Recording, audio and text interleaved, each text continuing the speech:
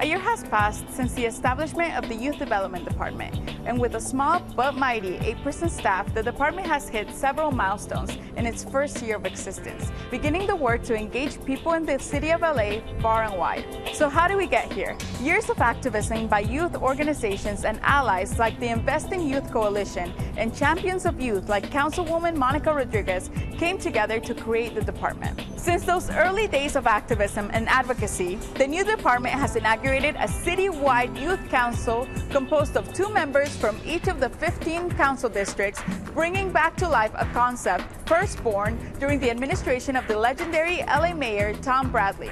The Olivia E. Mitchell LA City Youth Council application process began in February 2022 and thanks to the outreach efforts of our community engagement team, Coro Fellow Jonathan Weisner and community partners received over 500 applications during the 28-day application window.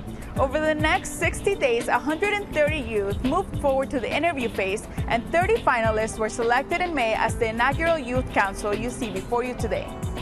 The Youth Development Department has kept true to their commitment of involving youth in the day to day operations of the department by bringing on six Coro Fellows throughout the year who have had direct input in the way the department operates and designs policy and programs.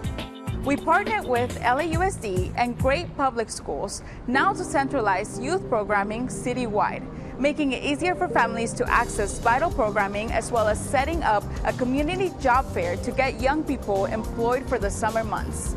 We worked with partnerships with Mayor Garcetti's office and the Los Angeles Community College District to create opportunities for young Angelenos to broaden their horizons throughout travel, acting as ambassadors of the city of Paris and Mexico City.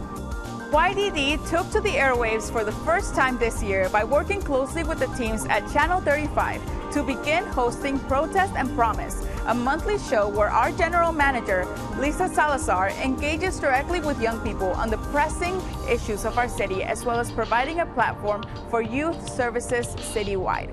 We gathered youth from across the city of Los Angeles to design the YDD logo. This is the first time a city department has created a logo with 100% youth input and selection process. We're excited for the journey ahead and invite all of you to follow via social media to stay up to date.